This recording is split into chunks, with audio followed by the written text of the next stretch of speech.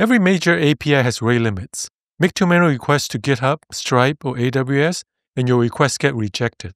How do this system work? Rate limiters control how many requests a client can make to an API in a given time window. They protect systems from overload while maintaining fair access for legitimate users. Let's tackle the core design challenges. Let's go over the requirements first. The system should limit incoming requests based on configurable rules, like 100 API requests per minute per user.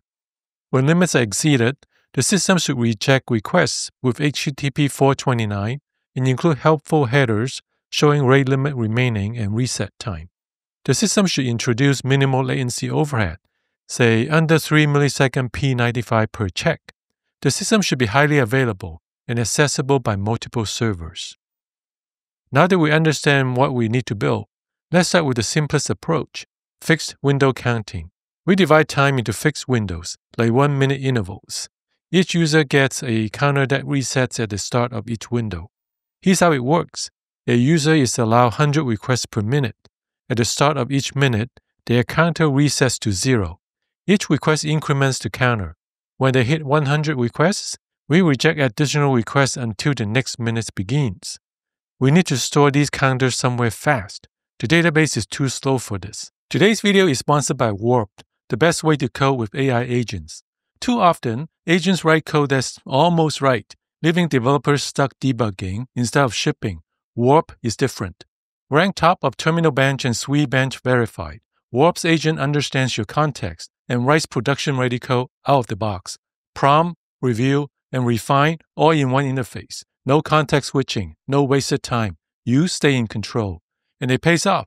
On average, users are saving over an hour a day with Warp. Download Warp by clicking the link in the description.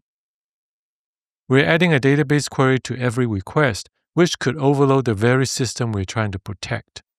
What about in memory storage on each server? This would be very fast, but it only works for a single server.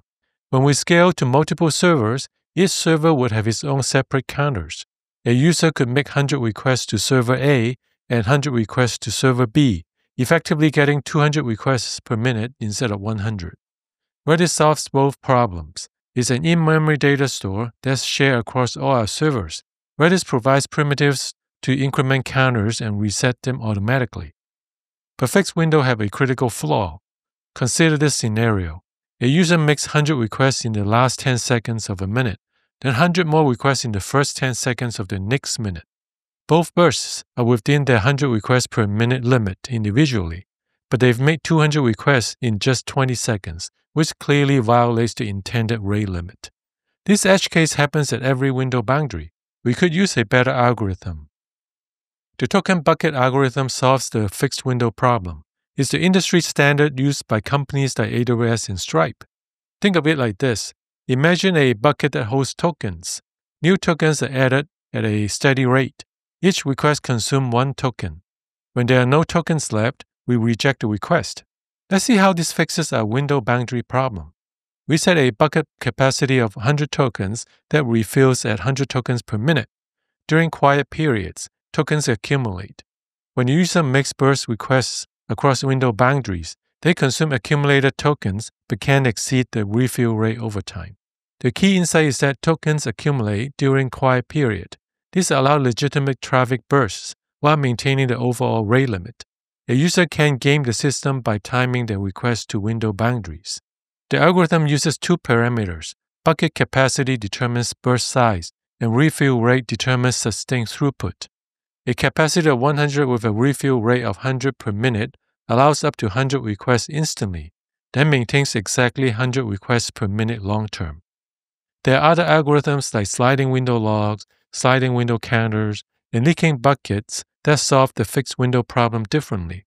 But token buckets strike the best balance between simplicity and effectiveness for most use cases. Now that we have our algorithm, we need to decide where to implement it in our system architecture. We have three options for where to place our rate limiter. Client-side rate limiting puts the logic in client applications, but we can't trust clients to enforce their own limits. Malicious users can modify the code or bypass restrictions entirely, Server-side rate limiting embeds the logic in our application code. This gives us complete control over the algorithm and keeps everything in one place. The downside is that rate limiting gets mixed with business logic, and each service needs its own implementation. Middleware rate limiting uses a dedicated service between clients and the APIs. This could be an API gateway, a reverse proxy, or a custom service. This keeps rate limiting separate from business logic and provides a single place to manage policies. The trade off is an increase in system complexity. Which should we choose? It depends on our situation. If we already have an API gateway handling authentication, adding rate limiting there makes sense. If we need a custom algorithm, server side gives us flexibility. For most systems, middleware offers the best balance of control and operational simplicity. Our system architecture looks like this. We store rate limiting rules in a configuration service. These rules define limits like premium users get 1,000 requests per hour or free users get 100 requests per hour. The middleware fetches these rules and stores token bucket state in Redis. When a request arrives, the middleware identifies the user, fetches their token bucket from Redis, and checks if tokens are available.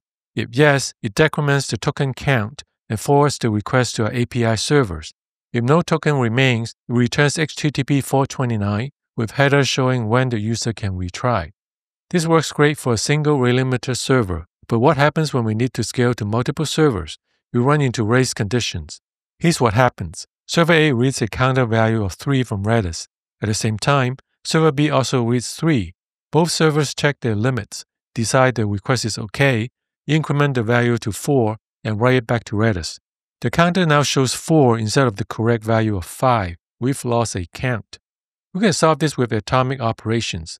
Redis supports these two Lua scripts that bundle the read, check, and increment into a single indivisible unit. This prevents race condition entirely. We've covered the essential building blocks for rate limiters in this video. There are other interesting topics we didn't cover. How do we handle geographic latency with multi-region deployment? How do we handle hotkeys when a few users generate most traffic? How do we upload rate limiting rules without restarting servers? Should the system fail open or fail closed when key components go down? These are all interesting topics worth exploring. Ready to ace your next technical interview? Join our community where we offer comprehensive courses on system design, coding, behavioral questions, machine learning, and object oriented design. Learn more at bytebytego.com.